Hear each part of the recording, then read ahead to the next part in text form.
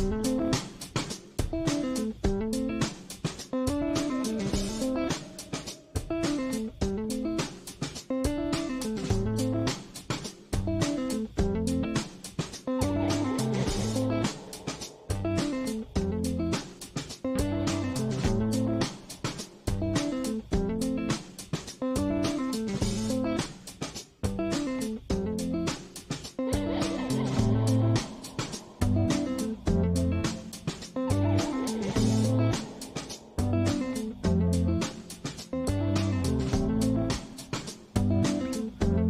Hello.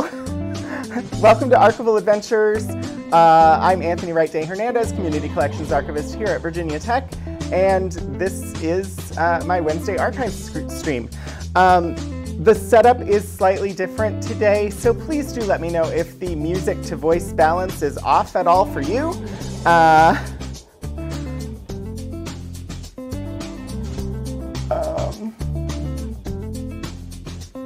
trying to make sure that I can actually see the chat. Um, so I have uh, they, the, my main uh, work laptop has been replaced with a new machine, and so some of the settings um, had to be changed. Music is a little high, voice a little low. Okay. Um, I will adjust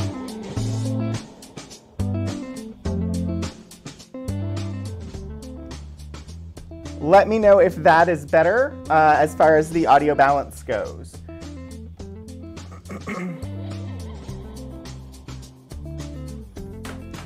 and also, hello! Welcome everybody, it's good to see you here. Uh, welcome to my viewers on whichever uh, channel you happen to be watching this on. If you're unfamiliar with the stream, I stream this on two channels. Uh, this goes out to the Virginia Tech University Libraries channel, which is VTUL Studios, as well as uh, my personal channel, which is Rogan27. Um, uh, let me go ahead and say hi to the people that are in chat. Uh, hello, Fluidan. Hello, Lord Portico. Um, and yes, the finding aid command should work on both channels, possibly. Uh, it, it's possible that viewers can't do the command on the library's channel. Uh, if any viewers want to give it a try, please do, and we'll see if it works. Um, also, hello, Key Squared. Uh, anyway, let me go ahead and get, get us started today. Um, thankfully, the meeting that I had that was coming up at when stream normally ends uh, is not happening today, so I don't have a hard stop today. Uh, and if we go over a little, that is totally fine. Uh, but let me go ahead and start with what we always start with on this stream, which is the land and labor acknowledgement from the university. Um, so Virginia Tech acknowledges that we live and work on the Tutelo and Monacan people's homeland, and we recognize their continued relationships with their land, lands and waterways. We further acknowledge that legislation and practices like the Morrill Act of 1862 enabled the Commonwealth of Virginia to finance and found Virginia Tech through the forced removal of Native nations from their lands, both locally and in Western territories. We understand that honoring Native peoples without explicit material commitments falls short of our institutional responsibilities. Through sustained, transparent, and meaningful engagement with the Tutelo and Monacan peoples and other Native nations, we commit to changing the trajectory of Virginia Tech's history by increasing Indigenous student, staff, and faculty recruitment and retention, diversifying course offerings, and meeting the growing needs of all Virginia tribes and supporting their sovereignty. We must also recognize that enslaved black people generated revenue and resources used to establish Virginia Tech and were prohibited from attending until 1953. Through Inclusive VT, the institutional and individual commitment to Ut Prosim, that I may serve, in the spirit of community, diversity, and excellence, we commit to advancing a more diverse, equitable, and inclusive community. so, as always, I think it's important that we hear those words uh, every week before we dive into history, uh, which is fraught with institutional structures that do not support equitable treatment of uh, minority communities. So, uh, the plan today is that we are going to look at the Blacksburg, Virginia Odd Fellows records. And you may or may not know anything about the uh, Oddfellows. Um, we'll get a little bit of history here. How about? Which, interestingly enough, the finding aid does not give a whole lot of history on the Oddfellows. Um, hang on one second.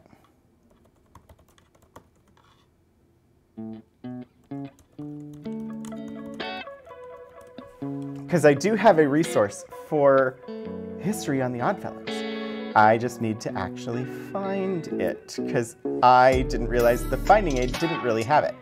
Um,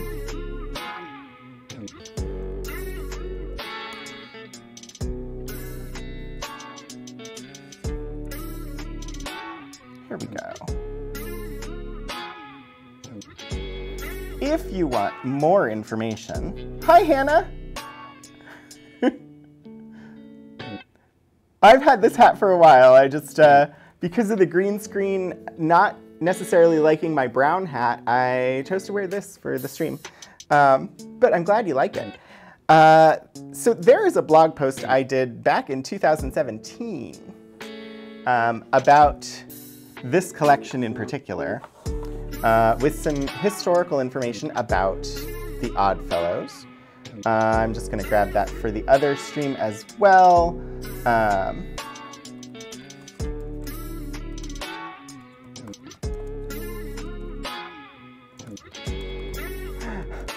anyway, how is everybody's Wednesday going while I do this? If, if you care to share, I would be happy to hear.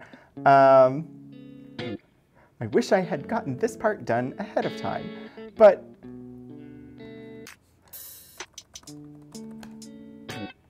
it's fine. We'll be there in just a second. I just want to make sure I get the information for both channels. All right, there we go on the library's channel. Um, a link to the blog post about the Grand United Order of Oddfellows, Tadmor Light, Tadmor Light Lodge, number 6184. Uh, So, just adding category. Someday, Lord Portico, someday. Um, so let me get you just some basic background information on uh, the Grand United Order of Odd Fellows. So here, here's how I introduced it in the blog post. If you've watched television or attended a movie in the last 50 to 60 years, you've probably seen a reference to Freemasonry or Masons. Uh, while the Masons have become a mythic symbol in popular culture that is often associated with conspiracy theories and the Illuminati, they originated, like many secret fraternal organizations, in a much more mundane environment, essentially as a guild or union and likely in the 14th century. Over the centuries, many similar organizations were formed or broke away from Freemasonry, and one such organization was the Grand United Order of Oddfellows. Uh, according to their organizational published history, the Oddfellows was formed as a fraternal society in similar fashion to other Masonic societies. Primary defining characteristic was its inclusivity. Anyone was welcome to join regardless of social status. Unfortunately, that inclusiveness, led to a division in the order around the topic of race. In 1842, 1843 New York, an effort was launched by a group from the Mother AME Zion Church to found a chapter of the Grand United Order of Oddfellows in America. They petitioned the current existing Oddfellows lodges in America, members of the Independent Order of Oddfellows, uh, but were denied because the petitioners were black. Uh, since one member of the church, Peter Ogden, was a member of the Grand United of a Grand United Order of Oddfellows lodge in England, he set sail to secure a charter for a new lodge. Uh, on March 1st, 1843, the Philomathean Lodge number 646 of the Grand United Order of Oddfellows was established in New York. From that time on, the Grand United Order of Oddfellows in America became a fraternal organization with primarily, while not exclusively, black membership. Uh, so the local lodge here in Blacksburg, Virginia, uh, was founded, I say in the blog post, sometime in the early 1900s, likely around 1904. Um, I think we actually can do better than that today because I'm aware of additional information that just either I didn't know about or it did not register with me back when I wrote this blog post. Um, which is we have a document from their 27th anniversary, which was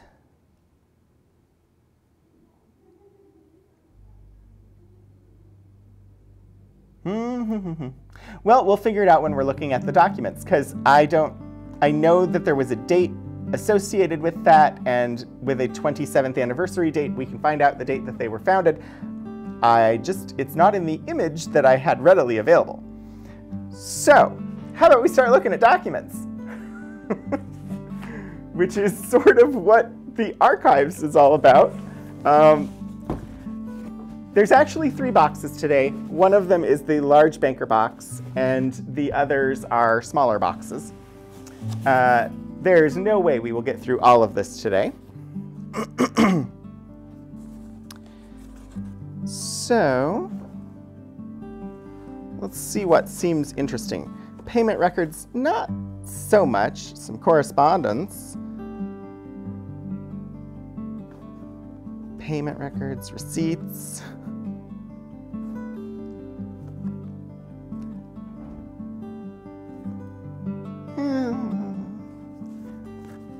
I'm just going to pull out a few things that look interesting. Incidentally, if you're looking at the finding aid and you do see a folder title that sounds interesting to you, let me know and we will um, pull it out and look at it.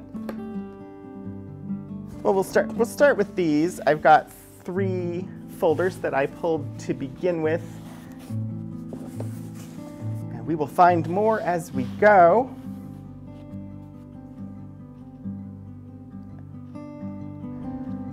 This over here.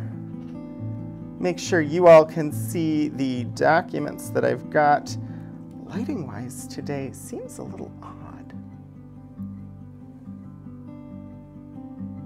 Does that seem extra dark to you today?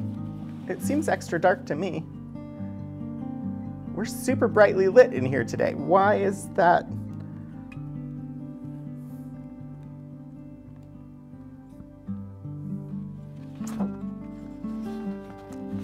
We'll discover it as we go. It does seem dark, yeah. Um, hmm. That is like extra, extra dark. Is there a filter or something on the scene? Let me check. I don't know why there would be. I haven't made any changes to the scene, but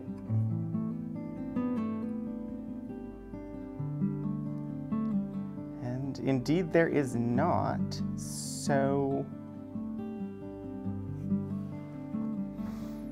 I'm going to see if the overhead lights can be adjusted, maybe.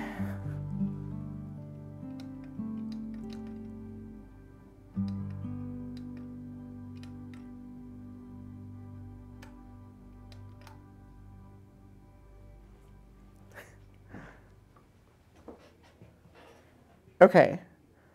Uh, that's as good as it's going to get from the overheads. I have a light on the camera itself, and that light is on, but does not really seem to be illuminating these quite in the way that they have been in the past.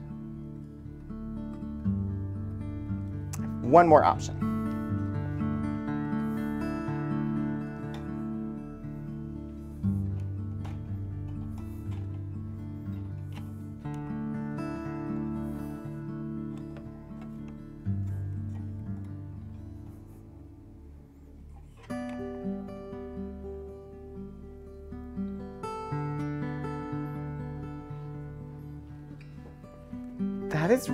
Really bizarre. Did that make it worse?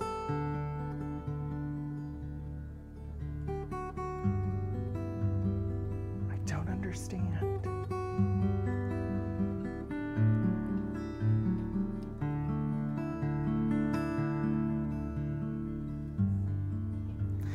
Well, that's going to be something for me to figure out for next time. Give me one second. I'm just going to adjust this to aim it a little bit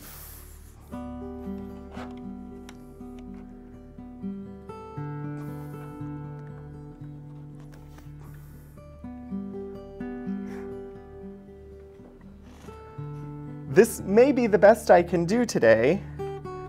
Uh, I have pulled over uh, one of the big floodlights and aimed it as directly at the documents as I can.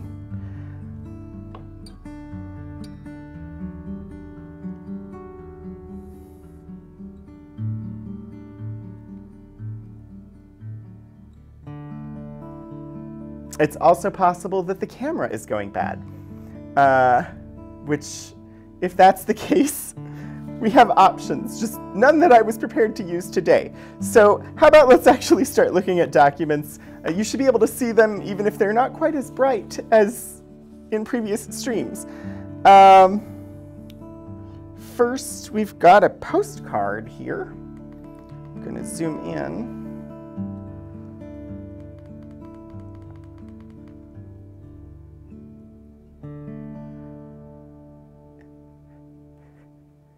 It's a live stream. You never know what's going to go wrong. So here we have a postcard. Uh, it was, um, let's see, the postmark was canceled, or the postmark is from Herndon, Virginia, December 1909, uh, addressed to Mr. Granville Smith in Blacksburg. Um, oh, this folder is just labeled correspondence, 1908 to 1909. Uh, so, uh, from, let's see, dated Herndon, Virginia, December 31st, 1909. Dear Brother Smith, please hand me by return mail the name of your express office. Yours fraternally, uh, A. J. Shirley, I think that is just asking for a new address. Let's see.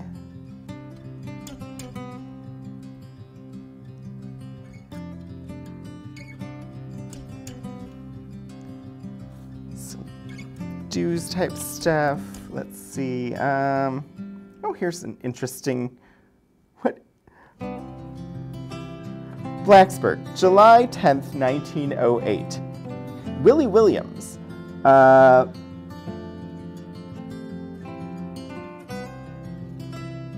one.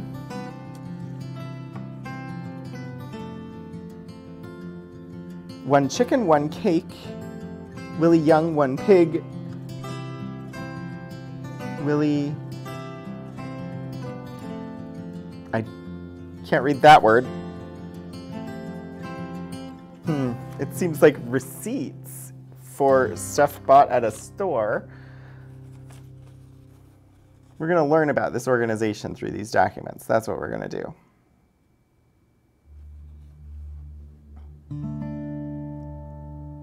Vickers Switch, May 4th, 1908.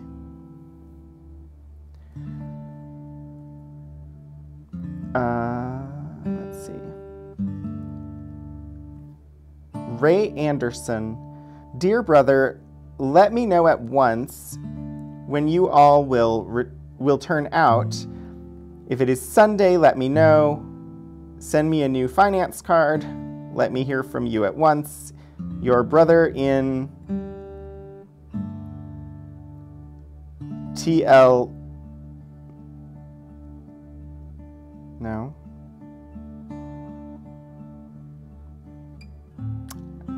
I mean, that looks like it should be an F, L, FLT. I don't know what those letters stand for in this context. Uh, David Scott, Vickers, Virginia. See, I was thinking it might be like TLL, but then it's not. Uh, TLL would be the Tadmor Light Lodge, but um, don't know. Well, based on these first documents, I don't think the correspondence is going to be especially useful for us. So let's look at some of the other stuff, uh, and we'll see what we've got. I think the correspondence would come in if we had better knowledge, better already existing knowledge um, about the organization and its members, and then we could piece together what exactly was going on with um, the communications that they have. Uh, this one was in a mylar sleeve uh, because it is losing bits, uh, but the mylar gets uh, a little reflective for camera and we're already having lighting issues with the camera today, so um, not going to use, not to do that to you. Uh, what we have here is an application for membership. Uh, Grand United Order of Odd Fellows application for membership to the officers and members of Tadmor Light Lodge, number 6184, City of Blacksburg, State of Virginia. Greeting. I hereby respectfully solicit the honor of admission to your honorable body promising a cheerful and faithful obedience to the laws, regulations, and ceremonies thereof. Enclosed, please find doctor's certificate and fee of $3. Signed Plymouth Christian, uh, residence Blacksburg, married or single, single. Age next birthday, uh, 28 September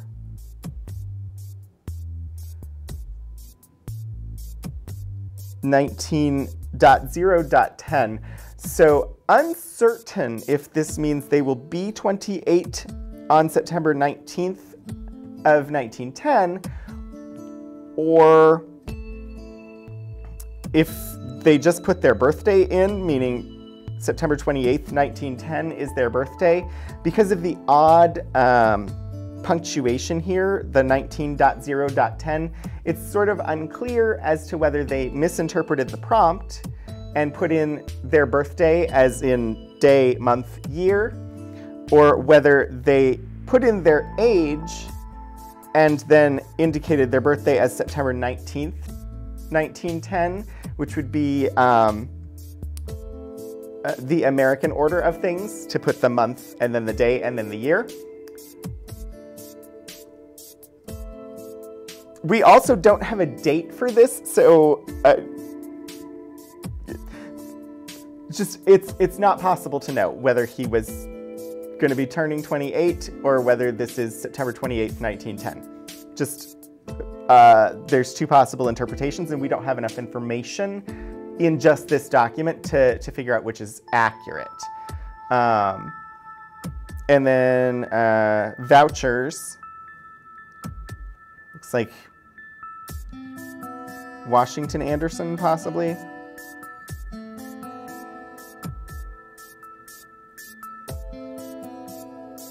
I saw that too, Lord Portico, and indeed, it does indicate that a doctor's certificate was part of the application for membership.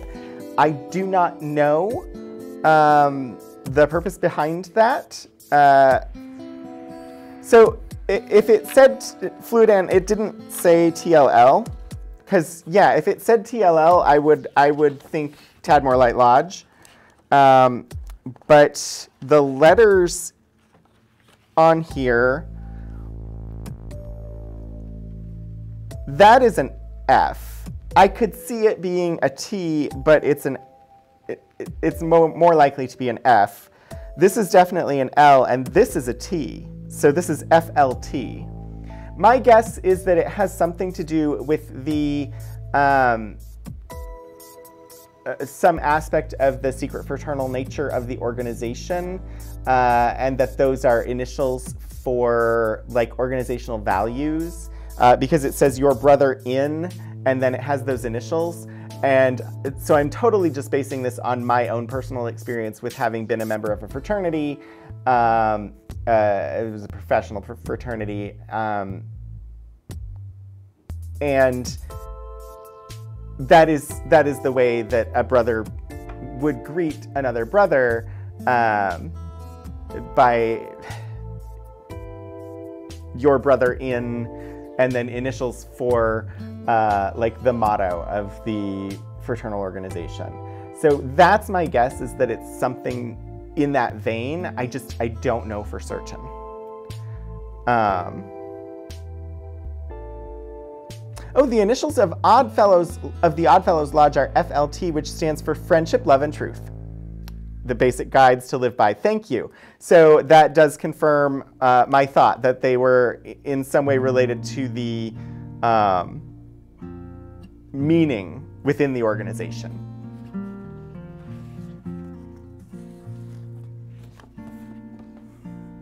And yeah, in doing actual research, I would take the time to, to look that up if it was important uh, for me to know. Uh, for the stream, I try not to go looking stuff up on the internet uh, because it's not super engaging to watch somebody Google things. Um, let's see, proceedings of the 50th General Meeting, Grand United Order of Odd Fellows, held at, the, at Baltimore, Maryland, September 12th to 17th, 1910. Uh, I don't know that we necessarily want to read conference proceedings, but I mean, it starts off with a big list of delegates. Um,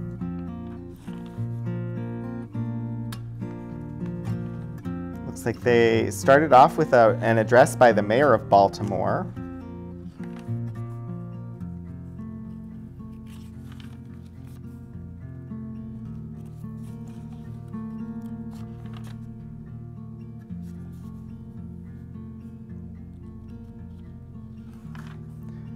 Yeah, there's a bunch of uh, transcribed speeches in here.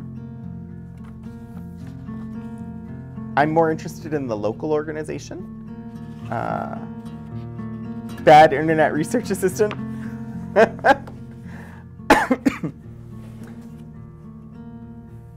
I, I wouldn't say that you're a bad research assistant or that it's bad research when it is purely for personal informational purposes. Um,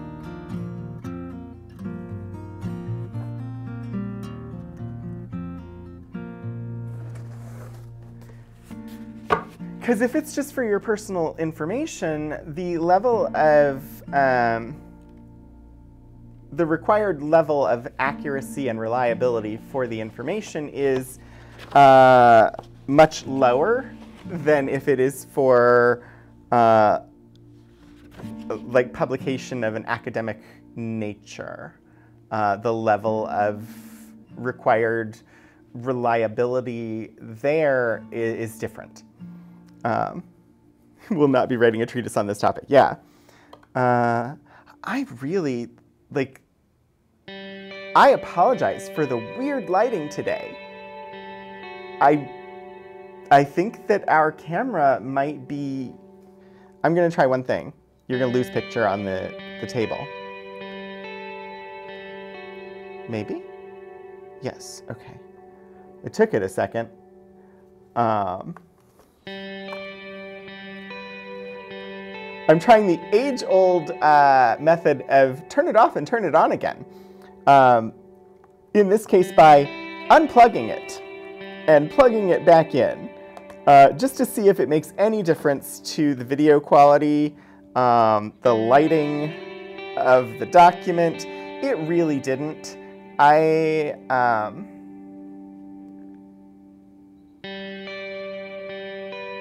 yeah, I don't know. I, I suspect that it might indeed be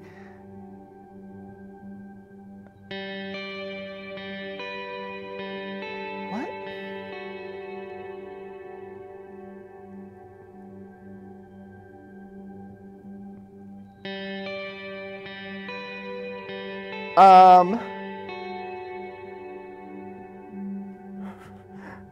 Hang on one second. I, I don't know what's going on. Um, I lost chat, so everything is weird today, and I apologize. I'm just pulling up chat in a different way. Um,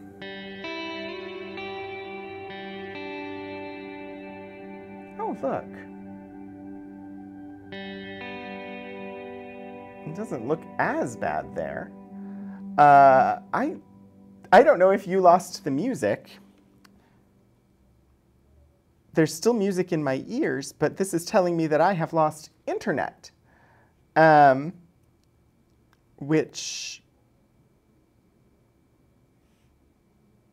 I'm hoping is not the case, but everything is fine.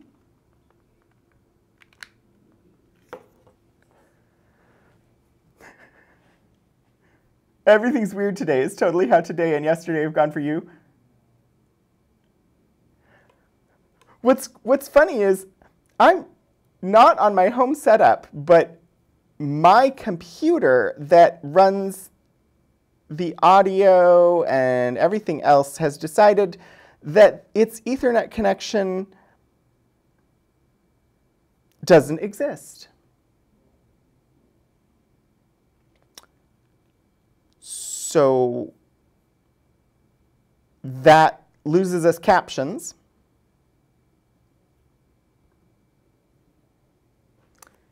One, one moment. Uh,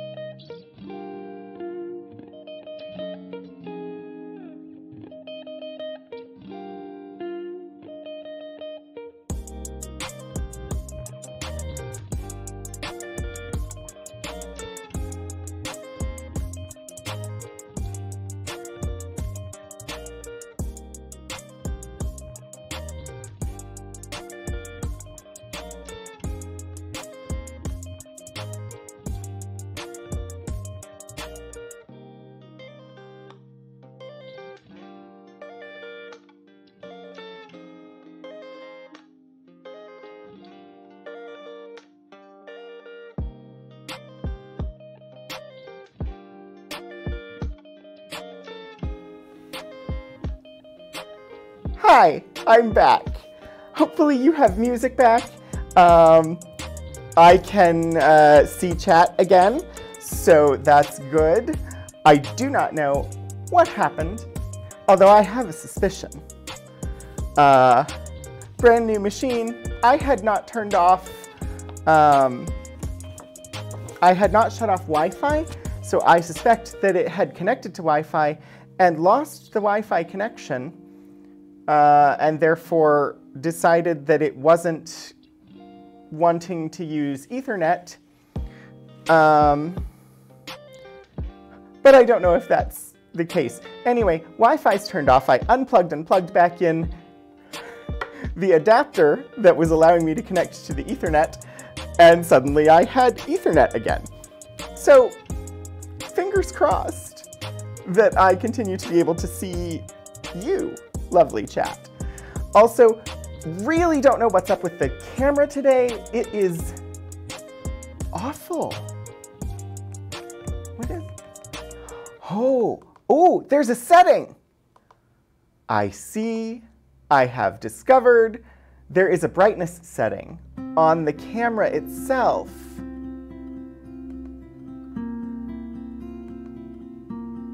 that I did not know existed. Okay, that, that seems a little too bright now, huh?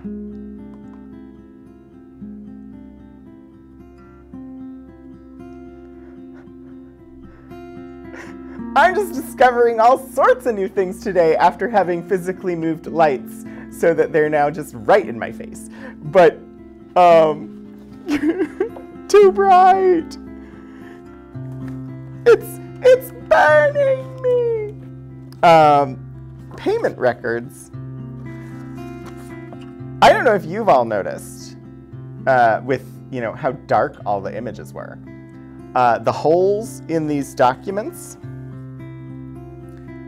I assume there are people in chat who know where those holes came from, and rather than telling you, I'm going to ask you if anybody can tell me why every one of these things has a hole in it.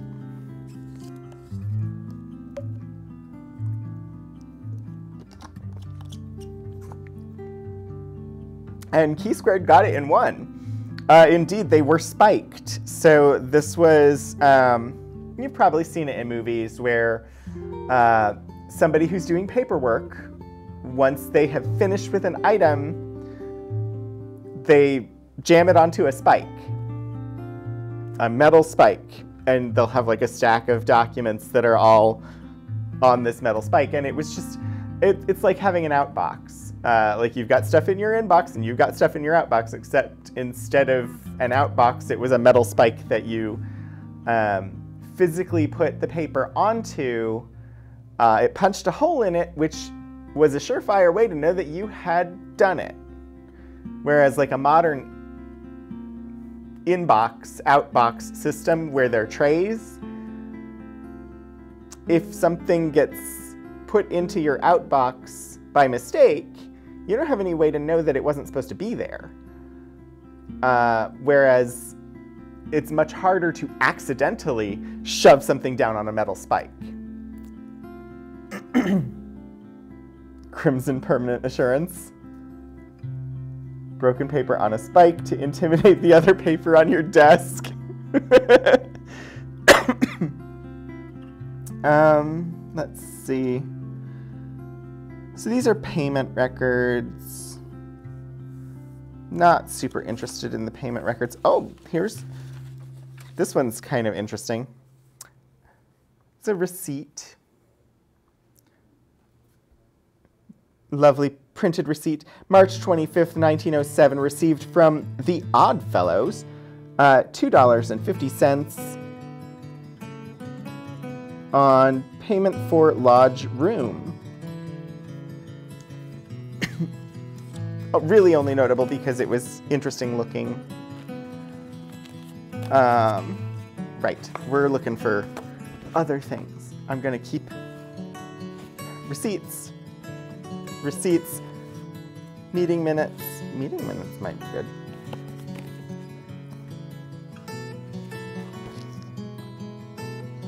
Meeting minutes are very interesting. In that they are literally just a strip of paper. This is this folder says meeting minutes 1910.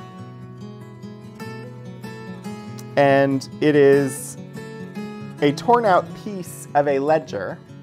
Uh, I know it's a ledger because the lines on the page, um, so we have brown ink lines going horizontally and a variety of red, pink ink lines in the vertical direction and the way that they are formatted on the page is pretty standard to a uh, old style ledgers.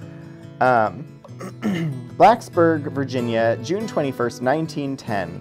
The lodge met and open in due form, the opening ode was sung and pray by William Green, and business was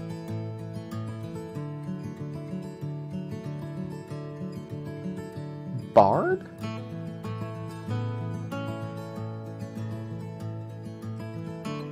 It looks like B-A-R-R-E-D.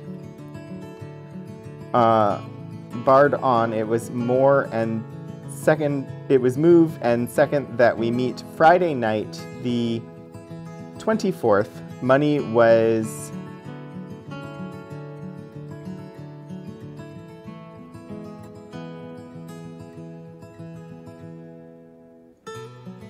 collect on hall tax, $4.35.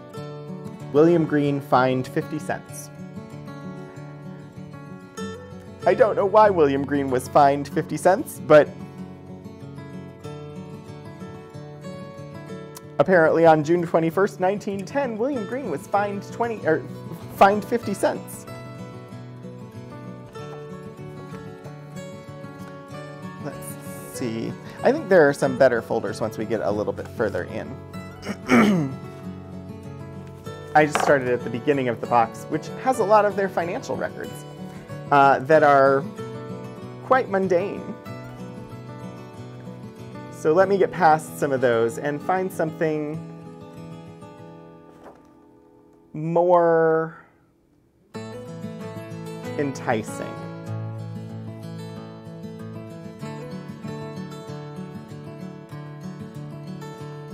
Mm, that's a possibility. Got some books.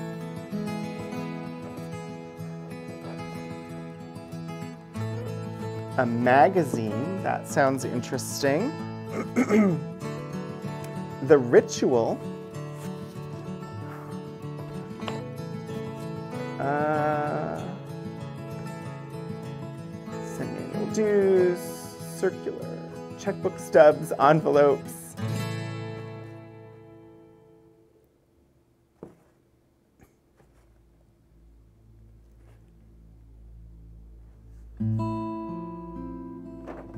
There's a lot of receipts in here, let me tell you.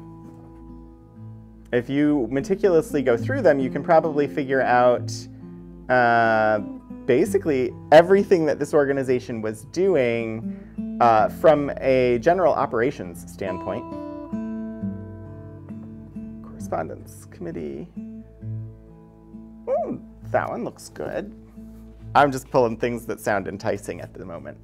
Uh, and we're going to find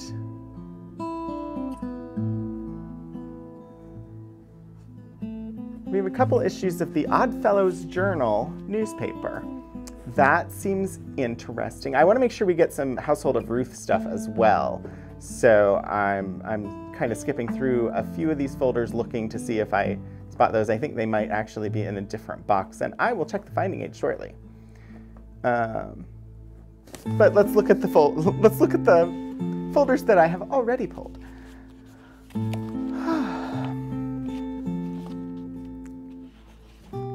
What's really silly is like when it's a collection that I have zero experience with at all, um, I feel like I struggle less and and I have some familiarity with this collection. I know there's really interesting things in it. I just don't know where they're at, where they are. Um, and I didn't look ahead of time, and now I'm like, the things we've been looking at aren't super interesting. There are more interesting things. And, and I don't know if it shows, but I'm just like, I don't know. My energy is different with this collection than with ones that I've never seen before. Uh, so this is the ritual of the Grand United Order of Odd Fellows, Book Second, composed of rules, laws, and regulations relating to obligations and installations. Uh, also the rules, laws, and regulations relating to lodges of instruction, lectures, signs, passwords, and tests, as laid down in the English work, published by the Committee of Management, Manchester, England, and American Works as presented by MVP brother Joseph C. Bustill of Philadelphia, Pennsylvania. The whole diligently revised and arranged under the supervision of the Subcommittee of Management of MVPR Fawcett, Grand Master of the Grand United Order of Oddfellows in America, and published by authority of the Subcommittee of Management for the use of the Order in America, reprinted 1914. Um, so this is available in our collections as a document that anybody can come in and look at. Uh, copies of, so this is the ritual from 1914. Uh, it looks like we also have book first from 1916. Um, and if you're at all familiar with fraternal organizations, so uh, fraternities, sororities, things like that, the ritual is generally uh, part of the secret portion of that organization. Um, so, out of respect, I will not be sharing the entire ritual on stream. Uh, I don't. I don't know that it's a huge issue. You can probably find the entire thing online if you really want to know their entire ritual. Um, owing to the fact that clearly it's available in the public realm, uh, being available from the archives.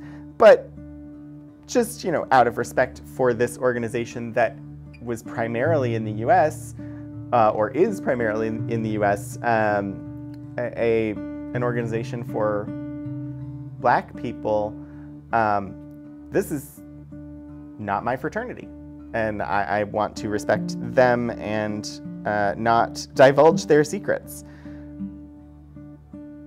So,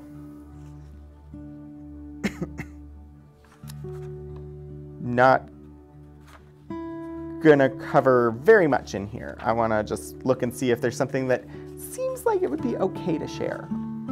But like these lectures, lecture in the third degree, etc., those seem like they're probably um, explaining the secrets of the organization, uh, explaining the meaning of any symbols, stuff like that. Those are things that I don't necessarily want to share on stream.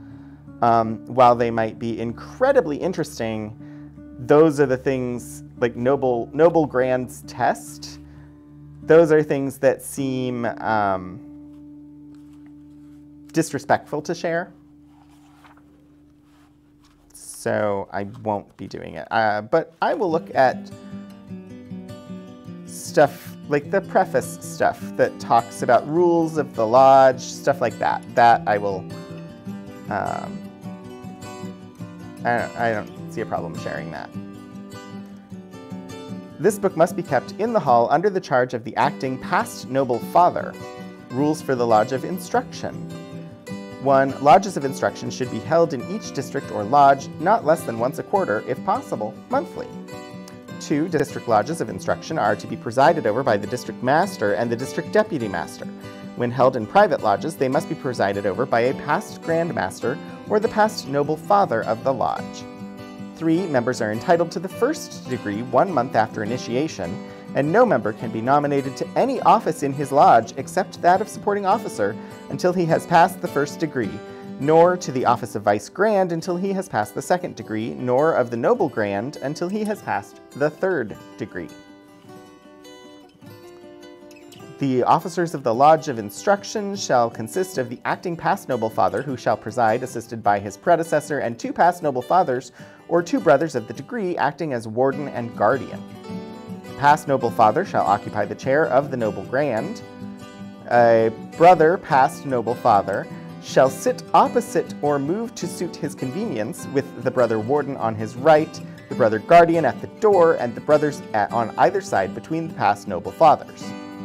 So this is setting up uh, the physical layout. Uh, it sets up responsibilities of who is responsible for doing what or filling which roles.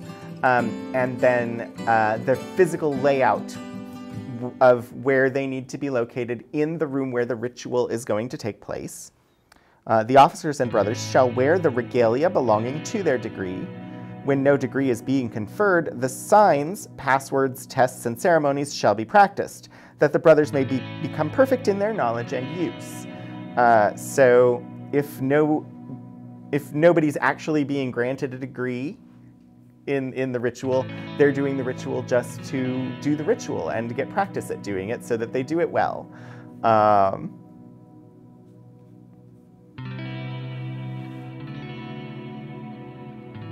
and then we start getting into the script.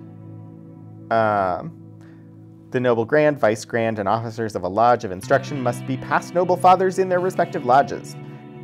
Past noble father, guardian, tile the door. Warden, examine the room and see that no brother is present who has not passed. And then the warden examines the room and reports.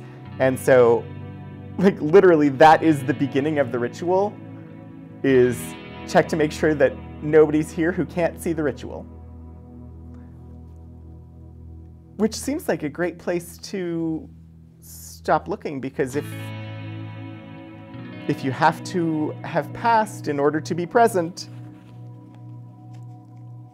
I probably shouldn't share that on stream because that would be disrespectful.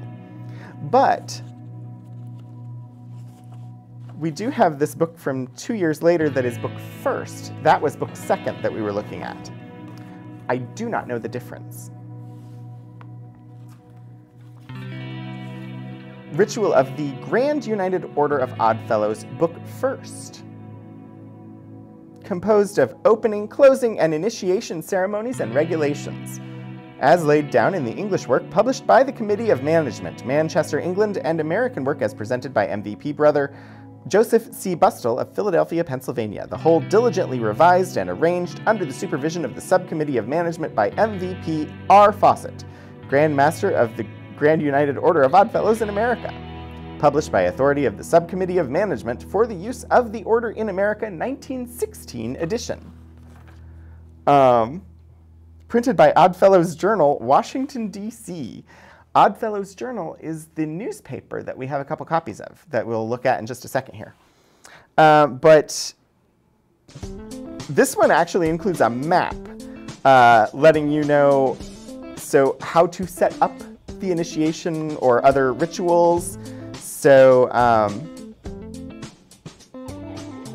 this is the lodge room, the asterisks, these four asterisks here, it says settees for members in the key below. Uh, apparently the guardian goes here. This appears to be the door to the room, possibly. I'm not certain. Uh, the warden goes here. These are actually uh, sort of guardian, warden, treasurer, secretary, etc. These roles are um, fairly common in fraternal organizations to have roles that are given those titles. Uh, I imagine the, they probably serve similar purposes in various organizations, uh, but probably also somewhat dissimilar in cases. Um, chaplain, four, five, and six, treasurer, pass, P secretary, and E secretary. Not certain uh, what the abbreviations are there. Um, seven, VG and supporters. Uh,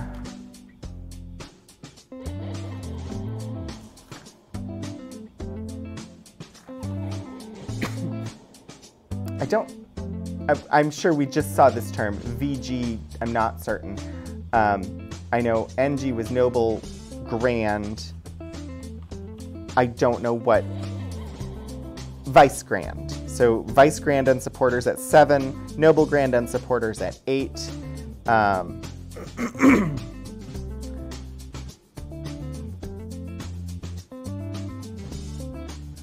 nine all the way over here in the corner. Um, 10 noble fathers and past noble fathers. 11 past noble fathers and distinguished visitors. 12 is a sacred altar. 13 Chesterfield.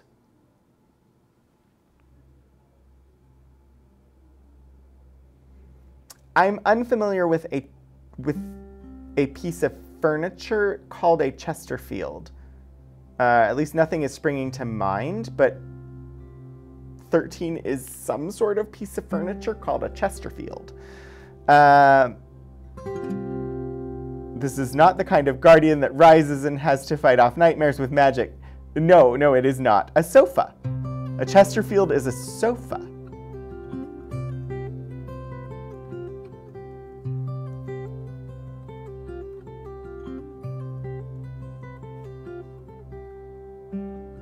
Got it. Okay. Yeah, if you do a quick internet search of just Chesterfield furniture, you can get some images. Um, kind of a, a two cushion sofa.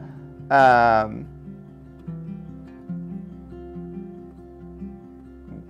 seems to have a very particular uh, pattern and look to it. Thank you, Key Squared. Uh, let's see, 14, fields of prep, fields or preparation room. 14. 15, regalia and reception room. And 16, past noble guardians room. Form of opening to be observed by every lodge in the order. And this, this page seems well used. Actually, this entire book seems rather well used. Noble Grand. Officers, take your stations. Guardian, close the door. Warden, examine the room, and if there be any stranger present, inform me thereof. Right supporter, state your duty. The answer to that is apparently to support you, to officiate in your absence, and to assist in opening the lodge. Um, left supporter, state your duty, to assist you and to assist you in closing the lodge. And then warden, state your duty uh, to arrange everything requisite for opening the lodge, to keep it comfortable and in order, to execute your commands, and to see that all things are put away at the closing of the lodge, and to report to you any loss or damage that may have been sustained. So uh, this is, they're sharing all of their roles.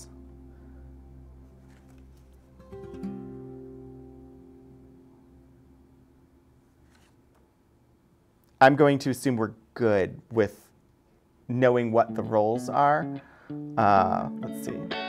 One turns up in one of the Hitchhiker's Guide sequels. Interesting. Let's see. Wardens. Oh, yeah. Past Noble Grand state your duty. Uh, to guard the door against strangers, to have the password from each member or your consent for his admission, and to prevent anyone from listening to what is going on in the lodge. Inside Guardian state your duty in the lodge to assist the outside guardian in the discharge of his duty and to officiate for him in his absence and to receive from each member the password before admitting him. Elective secretary, explain your duty. My duty is to minute the transactions of the business in a true and intelligible way and take account of all warrants drawn and cash receipts of the meeting.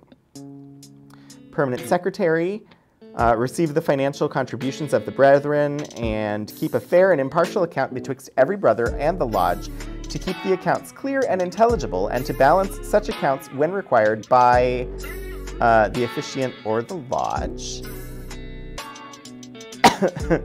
Applies for the role of left supporter. Uh, Vice Grand is to act in conjunction with the officiant, uh, assist in enforcing the laws during lodge hours, and give their charge on the initiation of members. Vice Grand, examine your supporters. Oh, wow. The Vice Grand's right supporter to support you in the same way as my worthy brother, the left supporter, to the noble grand, and to officiate for you in his absence. The left supporter to support you in the same manner as your right supporter. Noble grand. Worthy past noble father, vice grand officers and brethren, I trust that you will be attentive to the business of the evening.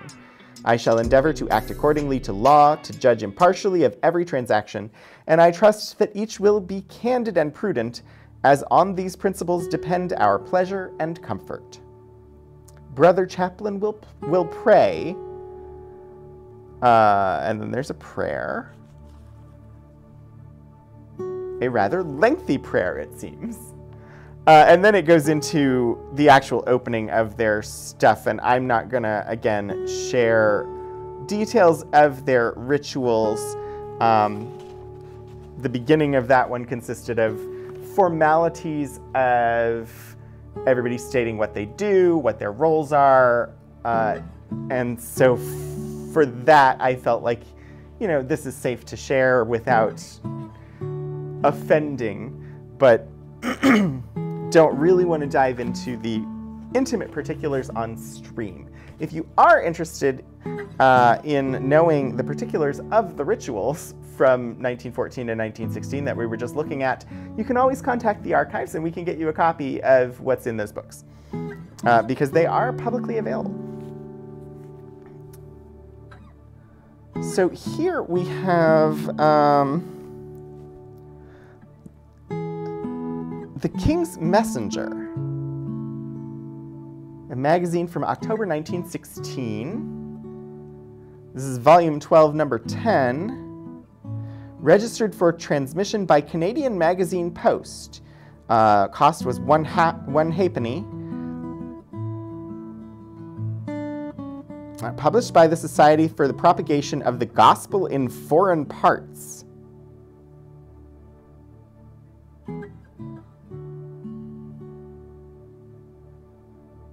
The first picture shows a country Chinese woman, a city lady, would not have such large sleeves.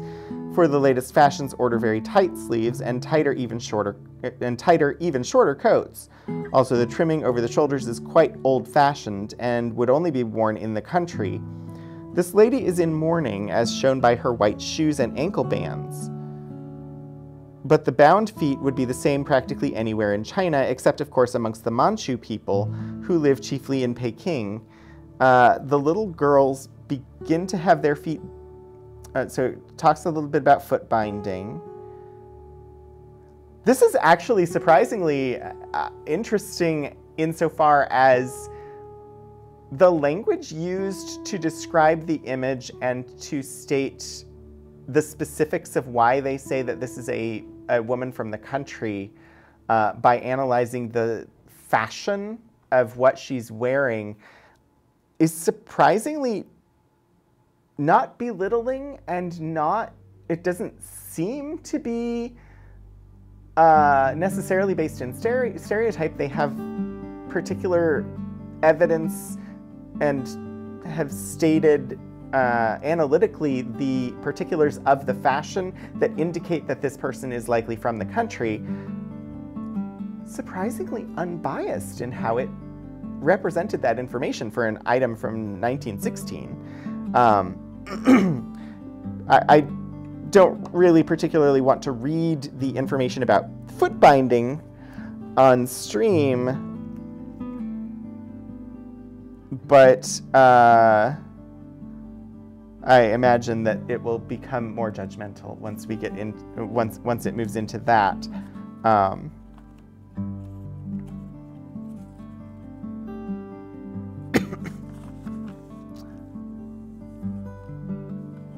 girl with load of hay. I, I, what is this magazine?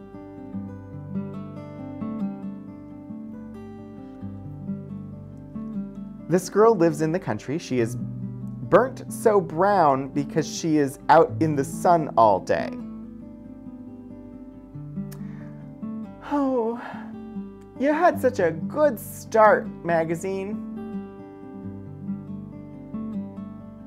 The weather must be nice and warm, for she has not her winter clothes on and has had to put a bit of blue stuff over her head for a hat.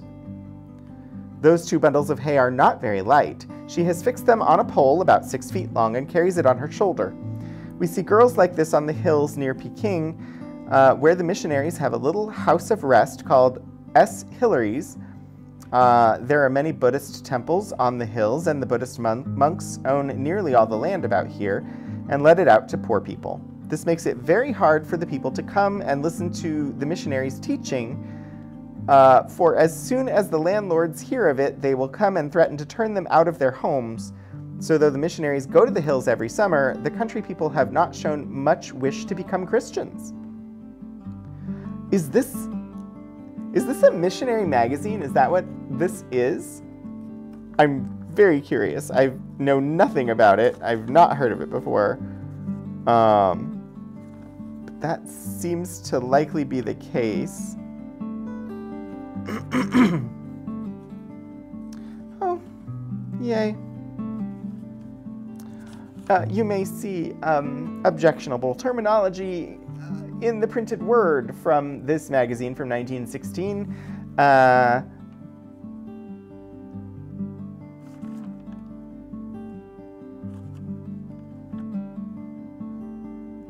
communications in regard to the magazine, uh, that gives an address. okay, I sorry. This just strikes me as as humorous, somewhat humorous. Um, so this is this is very clearly uh, the king's messengers. Um, I had wondered at the banner illustration here with the cross. Uh, this is definitely a magazine for missionaries. Uh, I, I would have to do some research, look it up. I'm sure I could find information about this magazine. Um, I just find it very interesting that this magazine for missionaries ends with three pages of advertisements for products. HP sauce, British made. Just a few drops, that's all. And you will be delighted with the flavor of the delicious Asian fruits and spices perfectly blended. Be sure you ask for HP sauce at all grocers. Oatine face cream. Sunlight soap.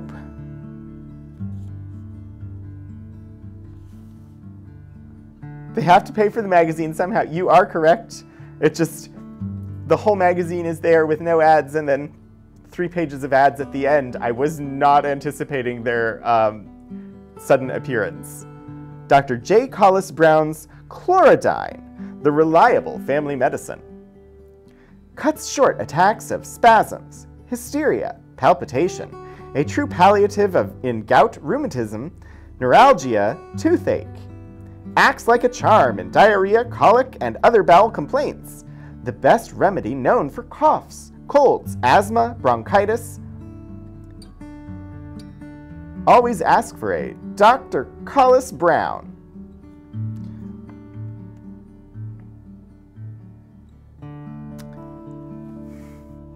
We, we last summer we had an entire month where we looked at um, patent medicines. Uh, this definitely seems like a patent medicine. It's not one that I don't think we talked about Dr. J. Collis Browne's Chlorodyne last year, but um, that is definitely an ad for a patent medicine that claims that it cures everything. Uh, the teeth ad is hilarious. Old artificial teeth bought. Persons wishing to receive full value should apply to the actual manufacturers instead of to provincial buyers. If, fo followed, if forwarded by post, value per return or offer made. Messrs. Browning. Uh, chief office is 63 Oxford Street, London, established 100 years. We will buy your old artificial teeth. Pioneer work in Algoma? No idea.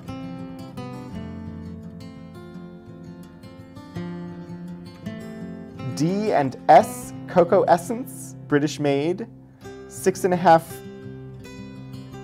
D. Do I have any any uh, Brits with me in chat today? Um,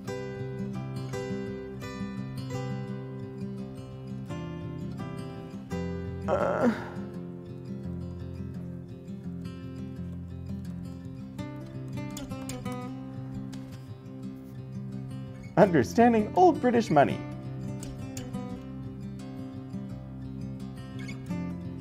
Oh my gosh. You're kidding me.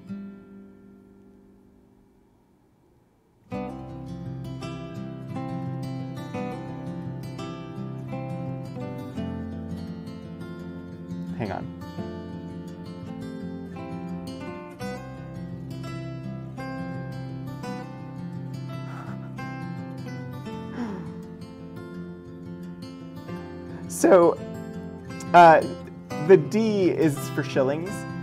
Um, the old the old currencies of pounds, shillings, and pence. Sorry, the D is pence. Uh, pounds, shillings, and pence um, was occasionally written LSD and pronounced LSD, uh, which uh, just struck me as odd, um, especially considering this is D and S, uh, which would be um, pence and shillings. Uh, so I'm sure that they meant it that way in titling their business D and S Cocoa Essence. Um, on the other hand, you do buy artificial teeth if they are gold. They make good scrap metal and end up getting recycled. That, I mean, that makes sense, Hannah. So this is six and a half shillings per one quarter pound tin sold by all grocers. Apparently it is manufactured by a tea company.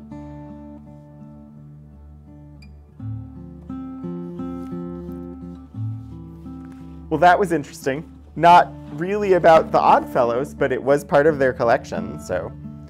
Um, what we have next is Oddfellows Journal newspaper, March 1st, 1934.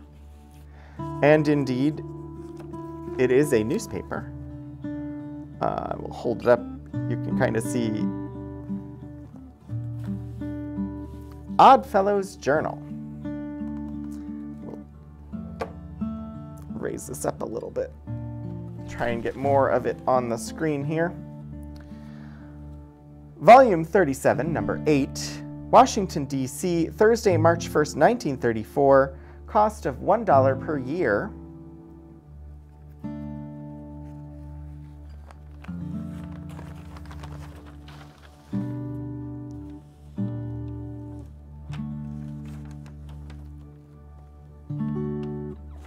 All right, let's let's see what we got.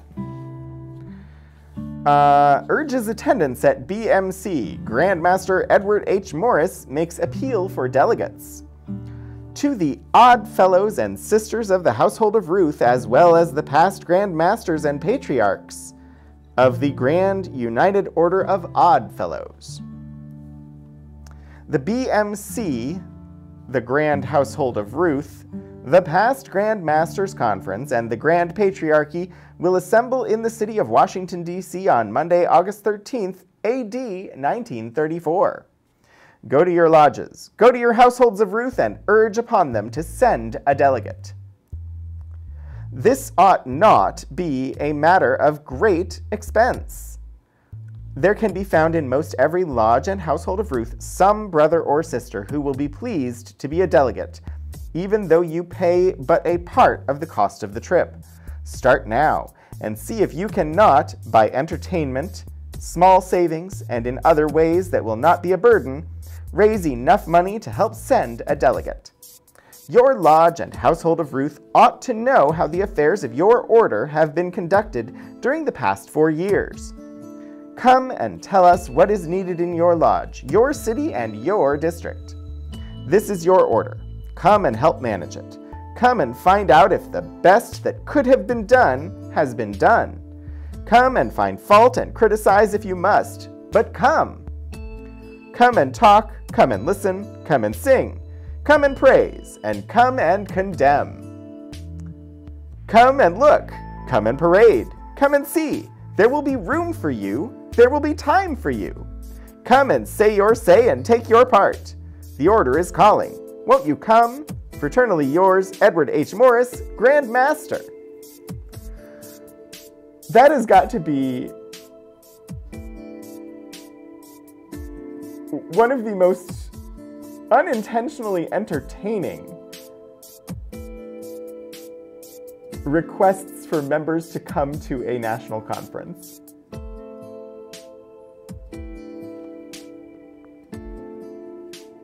Just the whole section at the end come and talk, come and listen, come and sing, come and praise, come and condemn. Just like just come and take part. Just be a part of the organization. You, you just just get here and and be a part of it. If if you hate everything about the organization and you're angry that you joined, come and tell us. Like, and and I get it.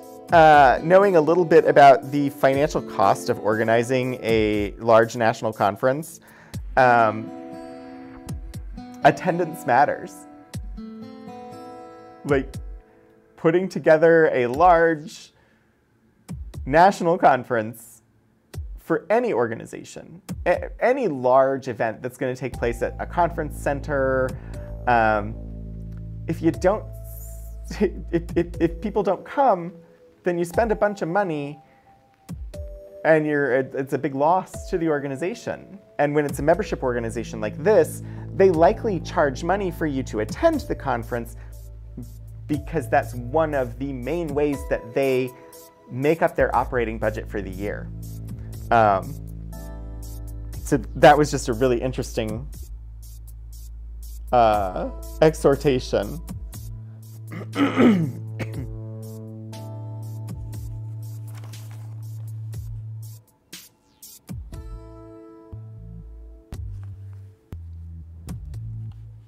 So this is just communication within the organization.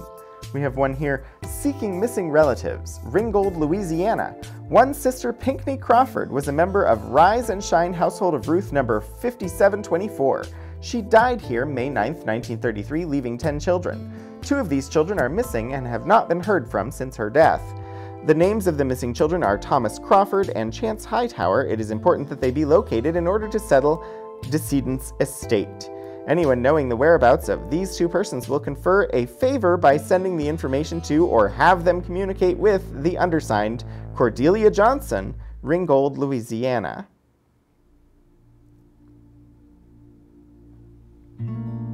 I wonder if they ever found them.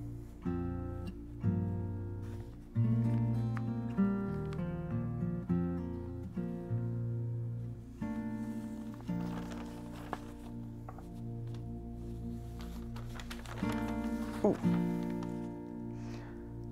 I don't want to do much on the inside here because I'm not set up to use the overhead today and therefore I, I, I can't really lay it out flat. Uh, but I thought it was interesting here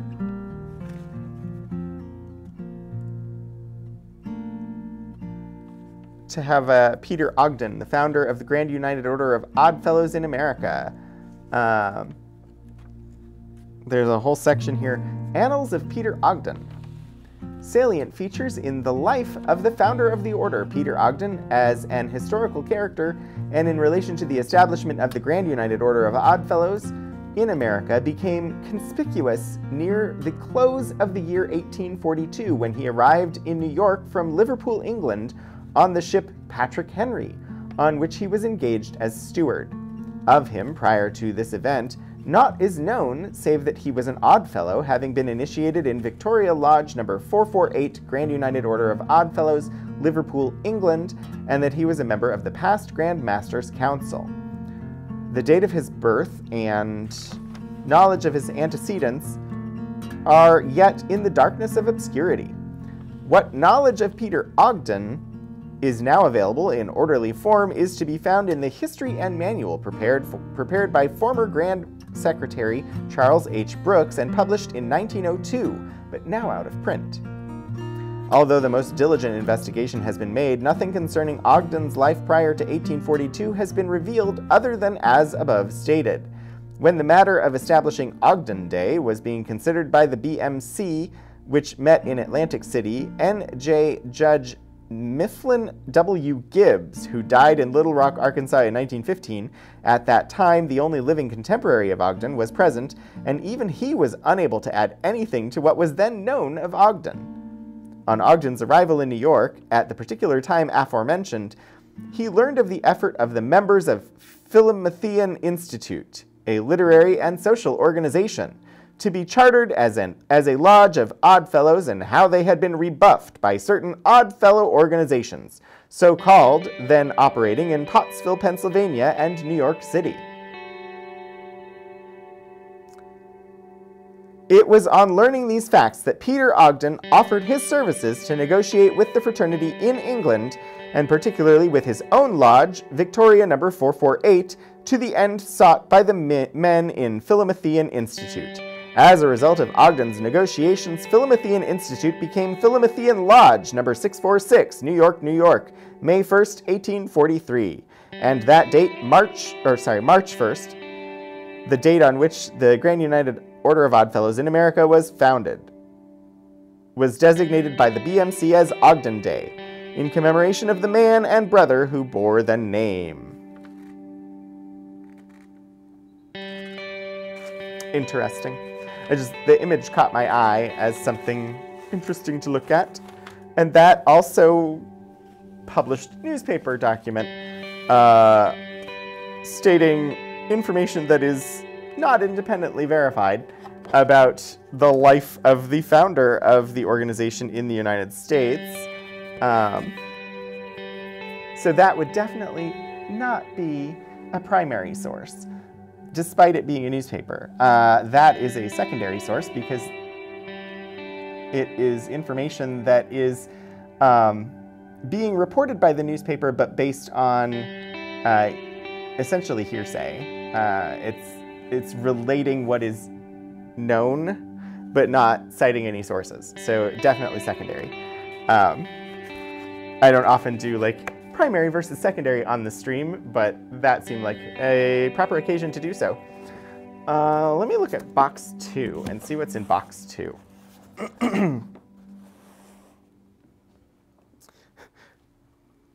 Miscellaneous? That is my least favorite folder title. That is the most useless folder title. Can anyone tell me what's in this folder based on the title of miscellaneous?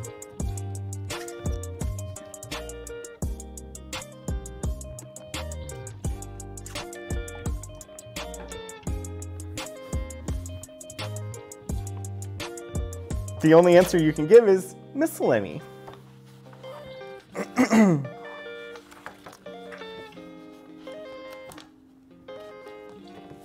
I have no idea whether that was a title given to this folder by the archivist who processed the collection, or whether it was, whether the collection came in folders and that it was already labeled as miscellaneous, in which case we would keep that name. Um, let's see, this is a stationery ad for lithographed blotters.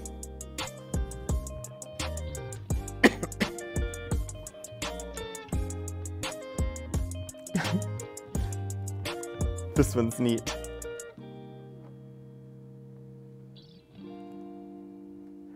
I'm gonna zoom in a little bit because it's cute. Um, it seems like we have a number of advertisements in this folder. From old to new with any shoe. Kib Wade Shoe Hospital. See Kib, the shoe doctor, Blacksburg, Virginia, box 353.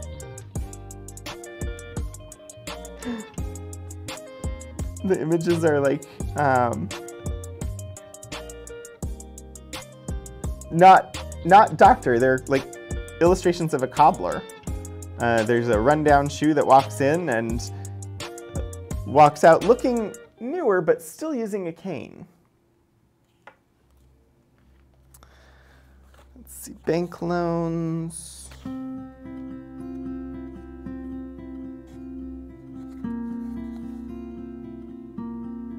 The lid to a cigar box.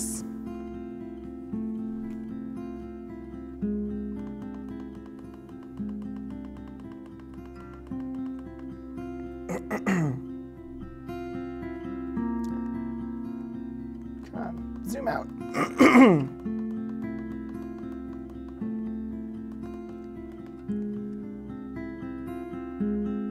this is the interior lid of a cigar box and the exterior lid of the cigar box. Uh, let's see. Hughes the tailor. So a number of ads in here. Um,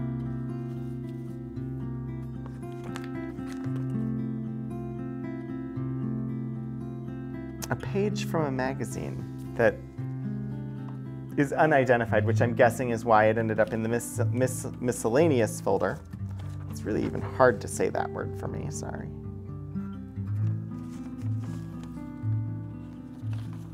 There's a lot of like scrap papers that were in this miscellaneous folder, so.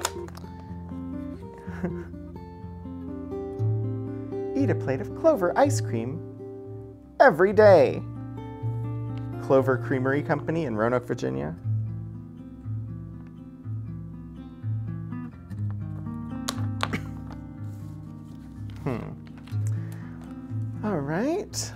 See what else is in here dues records, membership ribbons. That sounds interesting. Ritual cards, gospel hymns, Thanksgiving service program, the anniversary announcement. Most of this box is actually more interesting than most of the first box was. Uh, give me one second to put all of this stuff back in the folder and we'll take a look at the next folder.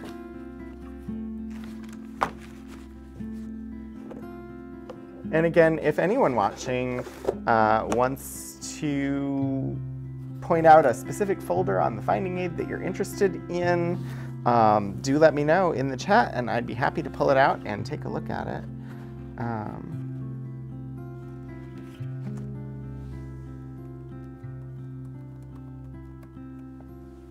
You can find the finding aid at the link that will appear in chat right there. Thanks, Portico.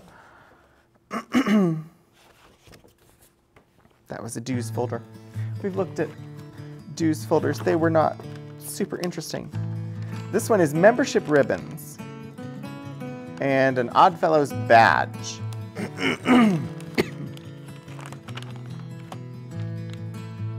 um, Let's go ahead and take it out of the Mylar so you can see it better. So this is a membership ribbon. You can see at the top it says member. Uh, let's see what we can make out. In memoriam, Tadmore Light Lodge number 6184, Grand United Order of Oddfellows, GUO of OF, uh, with their crest, which is mostly faded off. Um, and then you have GUO of OF, Blacksburg, Virginia. I don't know what they're in memoriam of. But on the back side, we also have another ribbon here, Tadmore Light Lodge number 6184, Grand United Order of Odd Fellows, Blacksburg, Virginia. You can sort of see the um, crest a little bit better there. not, not so well on this ribbon. There might be some other things that show it off better. In fact, one of the other ribbons that's in better condition shows it better.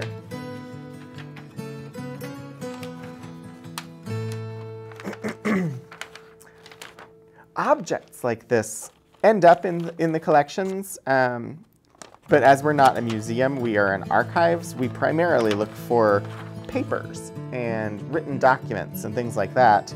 Um, and so if the collection was like a couple of papers and mostly stuff like this, it wouldn't necessarily be a collection that we would take in.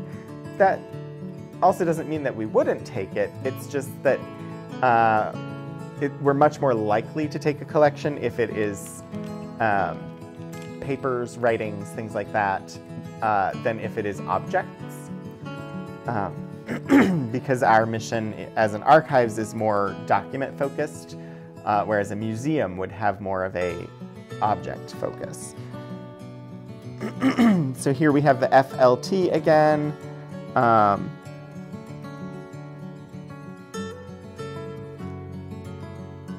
interesting. It's so it's really faded. I can barely see it. Uh, there's no way you're going to see it on the camera, but it, this is uh, TADMO, Tadmo Lodge, number 6184. Um, an abbreviation for Tadmore Light Lodge, apparently. Tadmo Lodge. A red and black ribbon. Uh, the others was blue and white. I don't know the significance of the colors in this organization. Often fraternities will have specific colors, uh, or fraternal organizations will have specific colors that have special meaning for them. Um, I do not know if blue and yellow, red and black, and then there's one coming up that's green. Uh, I don't know if there's specific meaning to those um, colors. We have got another of those in memoriam ribbons.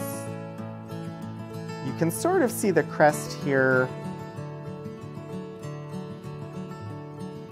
It's still, it's not in the best of definition on the ribbons. It looks like there's an eye with rays coming down from it. There's somebody over here holding a scale. Um, it looks like this, possibly the sun. And then there's a moon surrounded by stars. I can't make out what the motto is on the ribbon here at the bottom from the from this ribbon. Uh, I'm sure that information is elsewhere in this collection.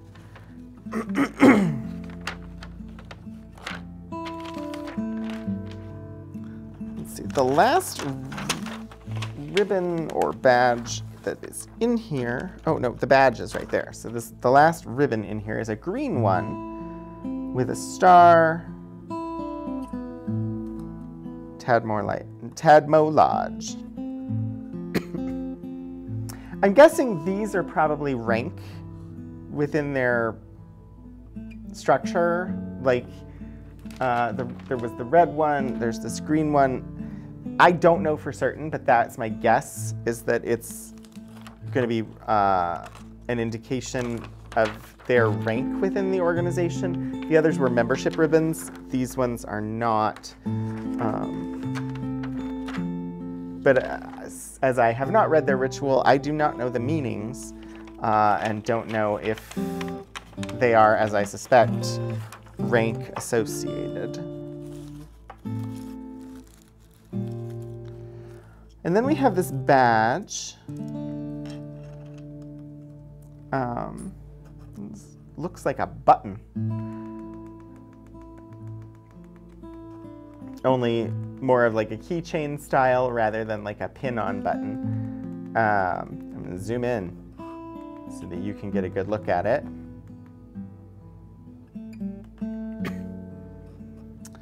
Uh, so we have the abbreviation GUO of OF, uh, and you can see Interestingly enough, uh, considering that in the in uh, the United States, this organization was primarily an organization for black men.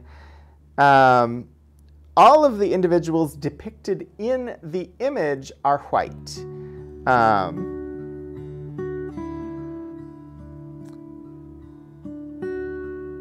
I see some religious imagery. It looks like maybe Mary and Jesus over on the left hand side.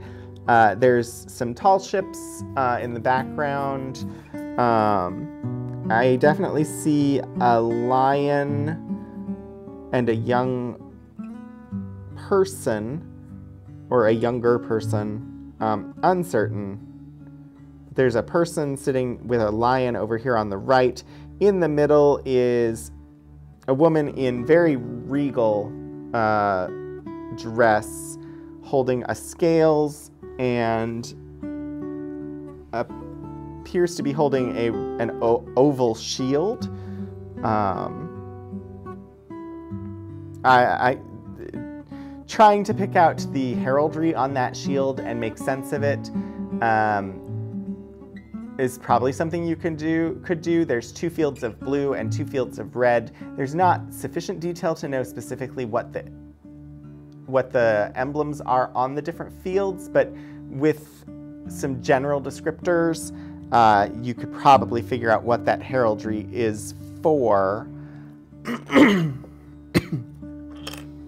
on the back, it says uh, J.L.B. Forster books, cards, badges. Uh, so I'm guessing that is where I'm guessing that this shop had the badge at some some point, and um, somebody purchased it from there. Um, it, Grand United Order of Odd Fellows, over the edge here, America. Uh, so not even a properly centered um, button because part of the text got folded over onto the edge. Interesting, I don't know a whole lot about this badge um, or the specific symbology involved. That would be a, an interesting thing to research.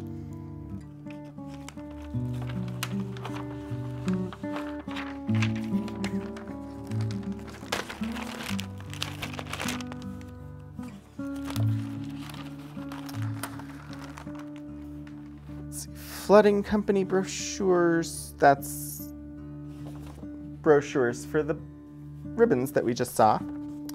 Ritual cards. Let's look at the ritual cards here. Let's see what we got. Um,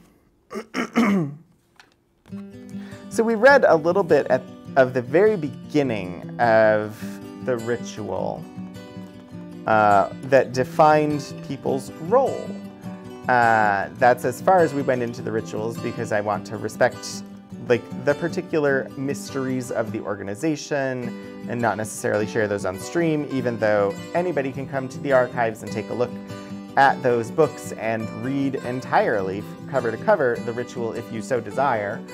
Um, but these cards would be for members who needed a memory aid for their part in the ritual.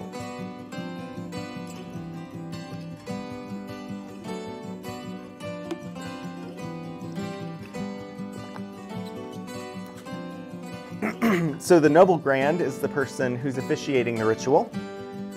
And this is essentially their entire script on a card.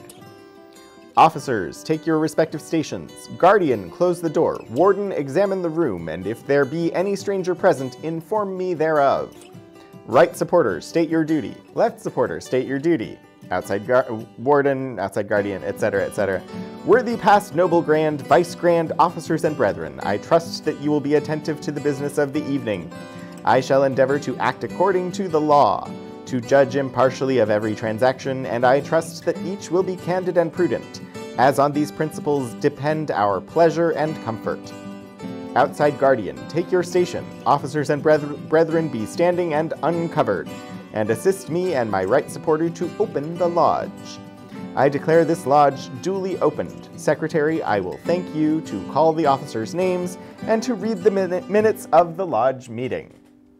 So, this would be a rotating role. This would be uh, like somebody somewhat senior in the organization. They've probably been to the ritual multiple times.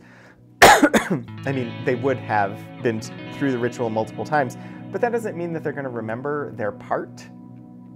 And it's essentially a large stage production with amateur actors um, that is done not on a stage.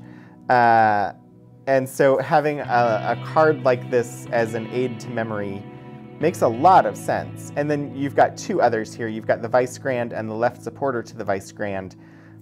So the Vice Grand, uh, when the Noble Grand gets to Vice Grand, state your duty in the lodge, they have the exact wording of what they're supposed to say in response.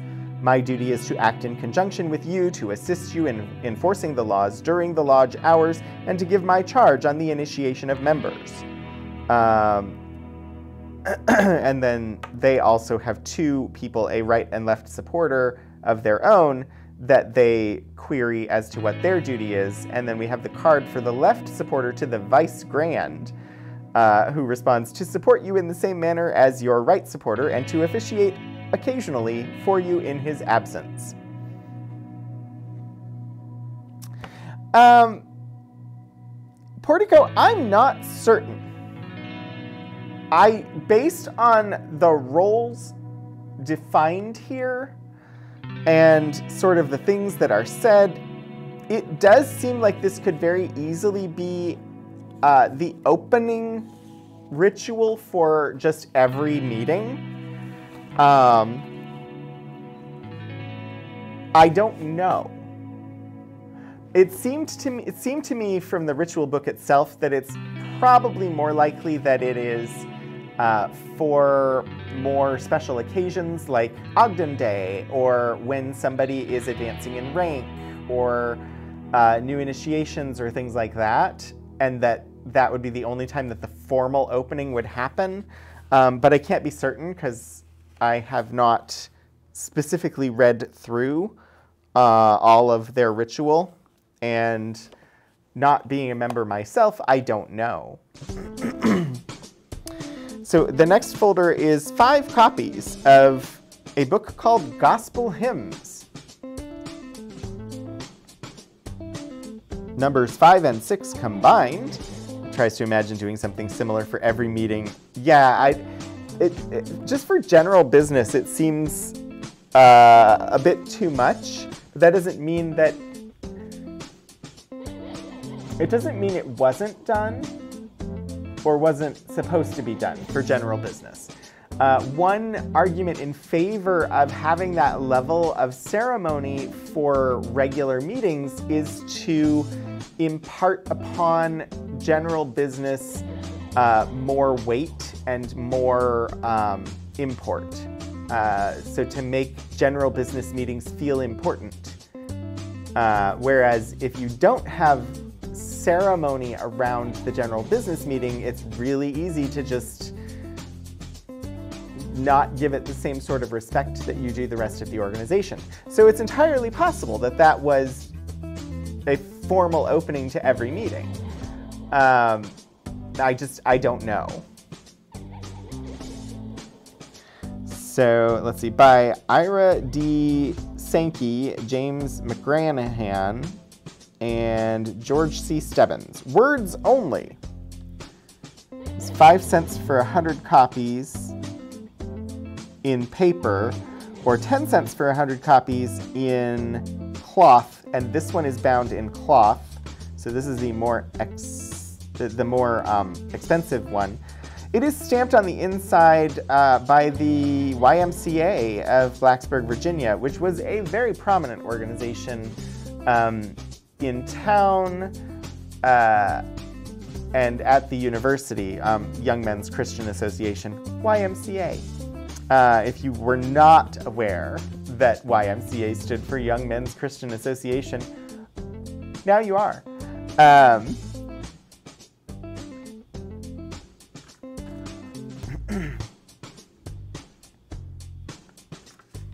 so a variety of these are just just words, uh, and they are very religious in nature. Gospel hymns. Whole book of them. Um, five copies. I wouldn't be surprised if they occasionally sang just gospel hymns at events or meetings. Uh, I don't know for certain. We would, we could probably check the minutes and see if there's any mention of singing hymns. But five copies of the books in their stuff. Also, they're a community organization. You recognized a couple of the songs. Um, they're a community organization, so anything uh, community related, like we saw grocery, receipt, grocery receipts earlier. Um, essentially, uh, while yes, they were a secret fraternal organization um, in the style of like the Masons, uh, Freemasons, um, they were also, they functioned as a mutual aid organization. So if you remember a couple weeks ago, we looked at Blacksburg Community Chest, uh, or sorry, Blacksburg, um, I forget the name. Uh, but a, a, Blacksburg, the Blacksburg Federation or something like that. Uh, wow, I can't believe I forgot the name.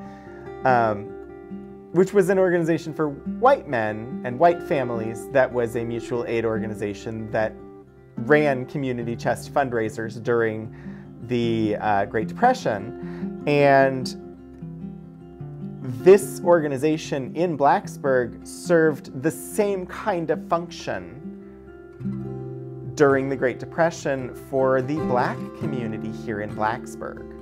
Uh, so while the Blacksburg Community Federation was operating for the betterment of the community and was um, working to pool together funds to take care of people who were struggling economically uh, during the Depression. All of their charity and all of their fundraising and all of their mutual aid benefit was for the white community. And despite all of their altruistic language, they never gave a thought to supporting the black community. Um, the Grand United Order of Oddfellows Lodge here in town and the Household of Ruth here in town would have served that purpose. The mutual aid, uh, community center, uh, helping families who are down on their luck type of support during the 30s, um, this would have been the organization that did that for the black families in the area. So this document here, this is a, let's see, clearance cards as member credentials is what it is labeled as. Uh, Grand United Order of Oddfellows. Um, we get a little bit better of the crest here. Still not great. Still really hard to figure out what exactly is on this crest. Uh, Amicita Amor Veritas. Um, what were the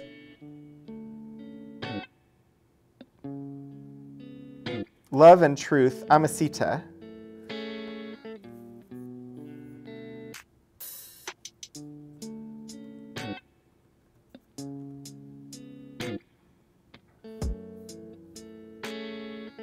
Sorry, my Latin is very, very rusty.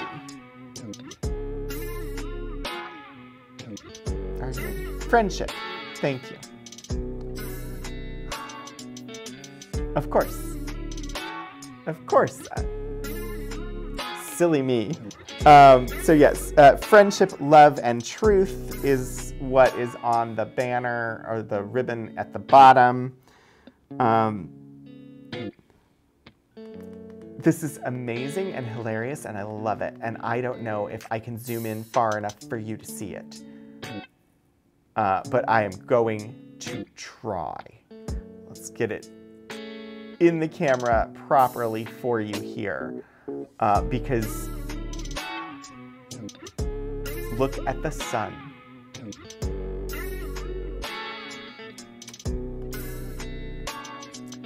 Yes, the three Latin words for FLT, Lord Portico. Two weeks ago it was the National Grange of the Order of Patrons of Husbandry. Yes, um, and that was that was yet another organization of similar purpose. Um, but the Blacksburg Community Federation is the one that I was thinking of that had specifically the community chest fundraisers. Um, so in the image here, uh, uh, with their crests, you can see there's the person on the left holding um, a scales. I think they may also have some sort of staff in their right hand. I can't really make that out. Um, the person over on the right has a sickle, uh, as well as a torch or staff of some sort. Um, in the center appears to be a building in the distance. I'm uncertain what that is. Um, and I can't really make out what this is at the very top center here. Um, there's a sun, what appears to be clouds, and a moon. The moon is surrounded by stars. The sun has two eyes, a nose, and a little smile. Which is just adorable and amazing. I'm sure it's supposed to, like, because it's so small, it's supposed to be this, the, the sun that's over here on the right, it's supposed to be that, but it's just so small that it's just two dots or three dots and a little bit, a little line. Um, it looks like a, a cute little, like, like a child drew a sun and put a face on it. Um, I'm absolutely certain it's meant to evoke this image here of the sun with a face. Um, I just, I'm amazed at, because I've zoomed in quite far. In reality, this is very small, and you can barely see that there is a face on that sun. Anyway, I just, I had to show the face, because the detail. And it's adorable, cute little detail.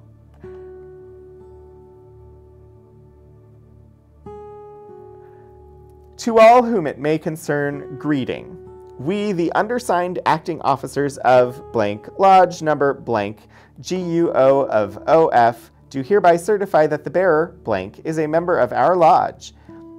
Uh, he has been a regular and worthy member for more years than blank, has paid all dues and demands uh, to this lodge, and will be financial until the blank next ensuing.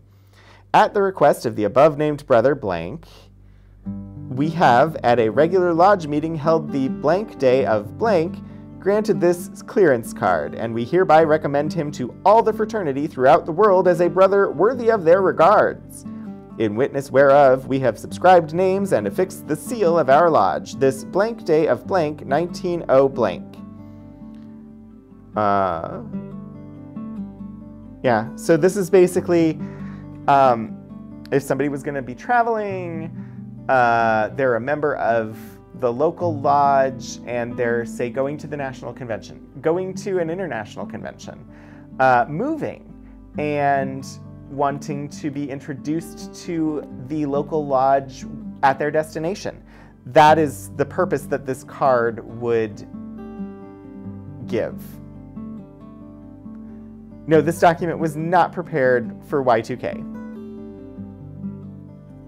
It was not prepared for 1910.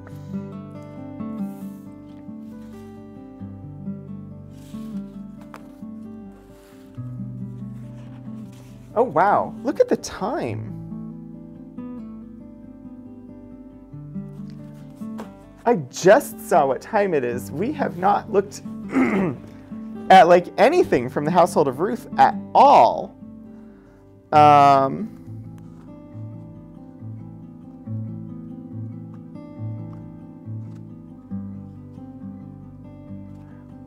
you know what?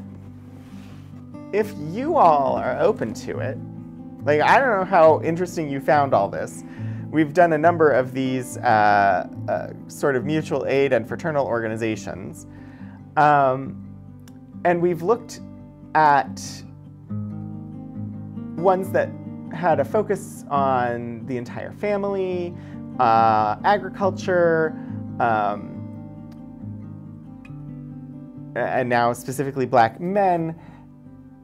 I think we do an entire stream on Household of Ruth, um, which is the black women's auxiliary, or the women's auxiliary in the United States, primarily black women. Uh, I have this entire box. This whole box, box three of this collection, is just Household of Ruth. I think we do an entire stream for the Household of Ruth materials. uh, it will not be next week, though. Uh, next week, let me go ahead and pull up my schedule so that I remember what is on the schedule for next week but I will add it into the list. One moment. Do do do do do do do do do do do do. I'm just waiting for the document to open. Um, coming up next week, we have. Um, Sorry. Alerts from my computer asking me to do things. I'm like, I don't want to do that, especially not right now. Um, right, okay, next week we have uh, late 19th and early 20th century diabetes guides and cookbooks. Uh, if you remember, when was it? It was maybe two or three weeks ago. Uh, oh, it was when we were doing the National Grange stuff. So back on the 13th, uh, we found a cookbook that had, uh, like, was from the first half of the 20th century and had an entire section on diabetes recipes. Uh, and uh, Kira, one of the other archivists here, mentioned in chat that we have quite a few. Um, specific nutrition guides from the 1900s and early 20th century um, focused on diabetes nutrition and diabetes recipes. And so we threw it on the list. So that is the plan for next week. I That one will take a little bit of work for me to gather together the materials. Um, but that is what we will be looking at next week. Um, and then we'll look at for May 11th uh, we will look at do. Oh wait, no. Yes, yes, no, that'll work. Uh, we'll look at uh, May 11th doing Household of Ruth. Um, we're near, we're nearly to the point of uh, an item that I put on my schedule way back in January uh, but that has a very specific date that it needed to happen. Um, so I, I have one blank week between now and when it happens, but uh, coming up, so next week is 19th and 20th century diabetes guides. Then we'll have Household of Ruth. Then we'll have, uh, right now I have penciled in the Robert Marshak papers for the 18th of May uh, the BP Blazing Game papers for the 25th of May. I currently have nothing planned for June 1st. But June 8th, we have a collection titled 1982 Celebration of 25 Years of Fortran. I know nothing about this collection except that it is apparently a collection of materials about the 25th anniversary of Fortran that happened in 1982. The reason it's scheduled for June 8th is because of when the anniversary of Fortran happens.